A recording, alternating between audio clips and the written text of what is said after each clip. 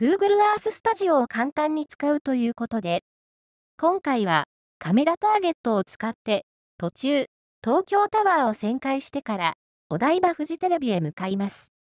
カメラターゲットを使うとカメラのパンと傾斜がカメラターゲットを見る方向になります。こんな風にカメラがどのように動いても視界はカメラターゲットを追うようになります。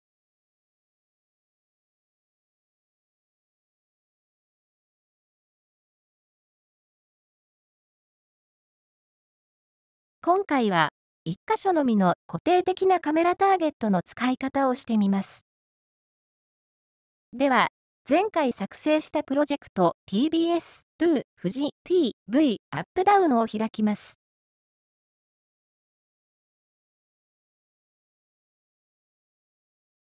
先に新しいプロジェクトとして保存しておきます。TBS 2富士 TV アップダウン CT としておきます。カメラターゲットを使った動きを入れていきたいので、フレームを追加しておきます。プロジェクト設定で30秒から1分に変更します。この時、新しい長さに合わせて既存のキーフレームを調整するの項目はチェックしません。後ろにこれだけの空フレームができました。ここでトップビューは航空写真。カメラビューには安全マージンガイドを表示させておきます。途中にカメラターゲットを使った12秒の旋回を入れたいので、後ろの2つのキーフレームを12秒後ろに移動します。42秒フレームにプレイヘッダーを合わせて後ろの2つのキーフレームを選択します。シフトを押しながら、プレイヘッダーの方へドラッグします。それでは、旋回の動きを入れていきます。10秒のフレームにプレイヘッダーを合わせます。一旦、傾斜をゼロにしておきます。東京タワーを探して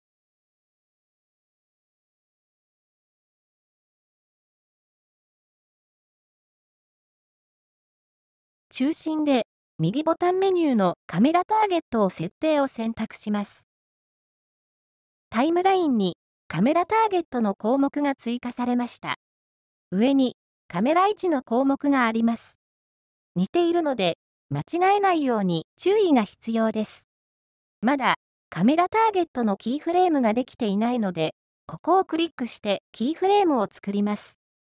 影響も100にしておきます。ただ、カメラターゲットが高い位置にありすぎるので、標高を200に下げておきます。傾斜ゼロの設定も削除しておきます。10秒のフレームにカメラの位置も設定しておきます。これからこんな風に旋回の円を描いていきます。13秒フレームにプレイヘッダーを合わせて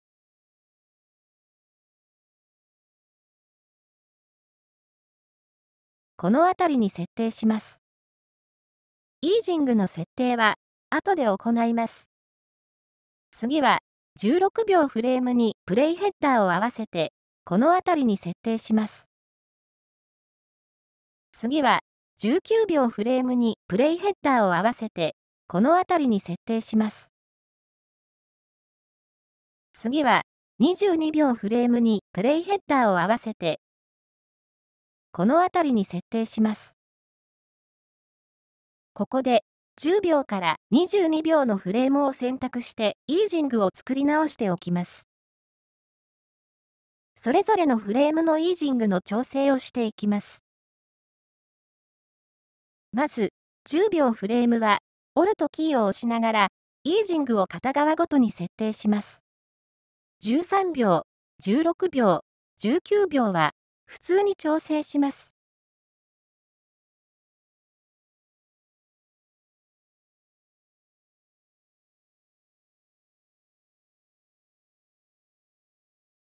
22秒フレームは、この前と後ろのフレームの距離が違いすぎるため、簡単なイージング調整ではうまくいきません。したがって、この簡単に使うでは、イージングを線形にしておきます。5で、おまけで、2つの調整方法を紹介します。この状態で動かしてみると、ちゃんと東京タワーを中心に旋回しています。ただ、ここからは、後ろ向きになっても、ずっと東京タワーを見てしまいます。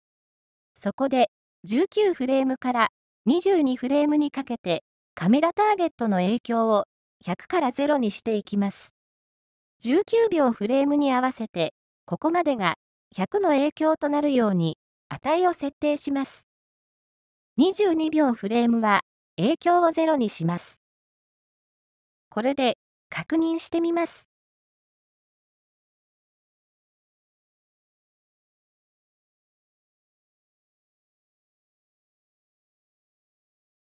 旋回に入ります。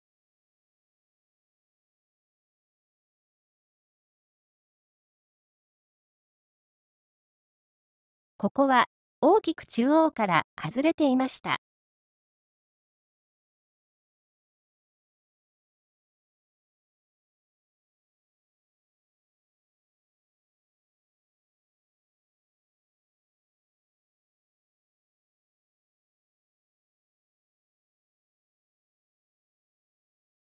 ここは42秒で止めようと思います。N キーを押すと、プレイヘッダーのあるフレームが最後になります。42秒フレームに最終フレームを示す黄色い線が入りました。22秒フレームの調整をやってみます。イージングはフレームの前後の距離が違いすぎるときにうまくいかないようなので距離を合わせてしまいます。このあたりにキーフレームを作ります。このイージングは線形に戻します。ここはイージングの設定をします。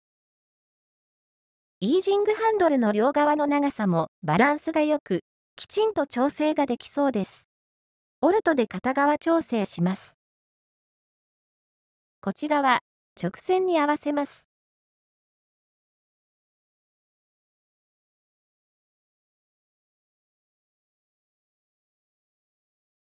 綺麗な軌道が描けますし、速度も一定にできます。ここで、東京タワーが大きく中央から外れる件も修正します。大きく中央から外れるのは、カメラターゲットの影響を外していくタイミングが早すぎるからです。このタイミングを遅くします。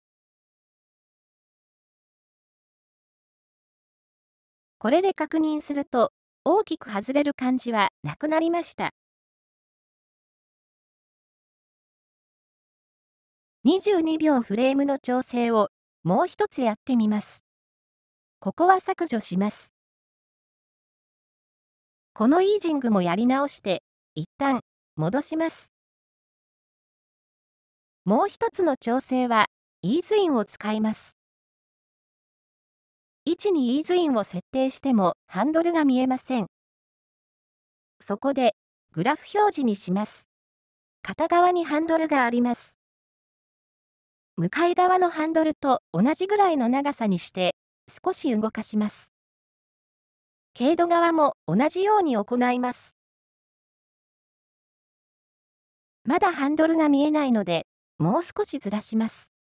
見えました。あとは、トップビューのハンドルで調整します。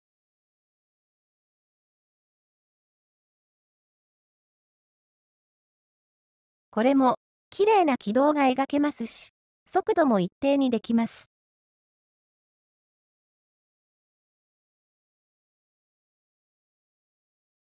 さて、これで保存します。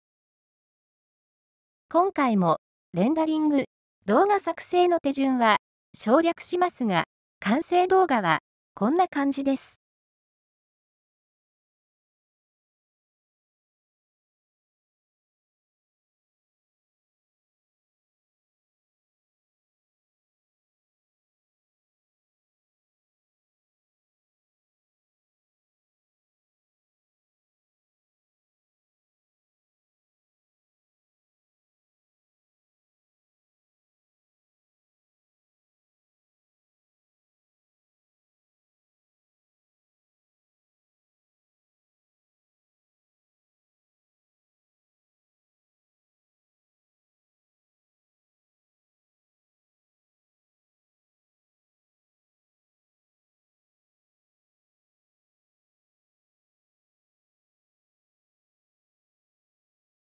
いかがでしたでしょうか？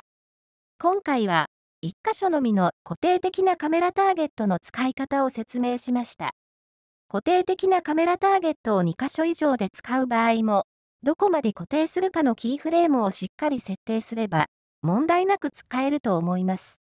次回は、動くカメラターゲットを追いかけてみたいと思います。最後までご覧いただきありがとうございました。今後も使いこなしのシリーズとともに Google Earth Studio を簡単に使うシリーズの説明動画をアップロードしていこうと思っています。よろしければチャンネル登録をお願いします。